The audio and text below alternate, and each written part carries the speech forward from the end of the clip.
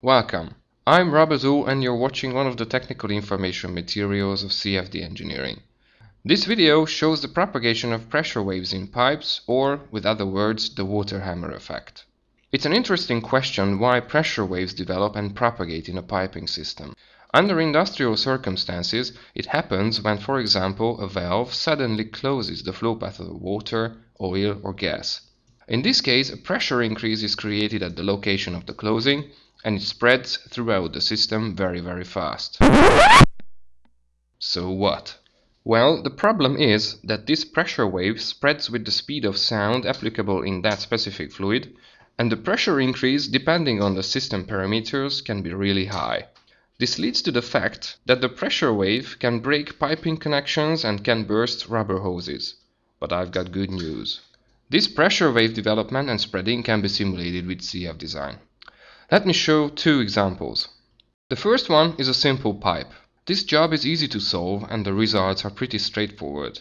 From the place of the closing, it was the outlet, the pressure wave starts, it goes through the whole pipe, when it arrives to the inlet it turns back and it travels till it reaches the closed end. This starts back again and so on. You can see it on the pressure graph which was measured inside of the pipe. This pressure traveling back and forth won't last till the end of time its intensity is continuously decreased by the friction between the fluid and the piping wall. The geometry of the second example is a bit more complex. There are two inlets. The outlet is just right here. Let's check out what happens when it is closed.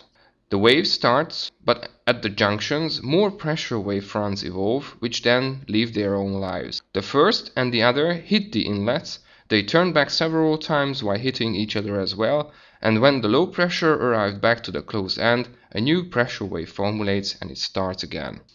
For geometry like this, the pressure graph is more interesting. A measuring point is crossed by several smaller bigger pressure waves. During the design of a piping system, to determine where to place the pressure relief sensors and what their operating pressure range should be, such simulations made on the complex piping geometry have key role. If you are curious to see simulations like this or just simply interested in CFD used in the everyday product development, please check out our website. Thanks for watching, see you next time.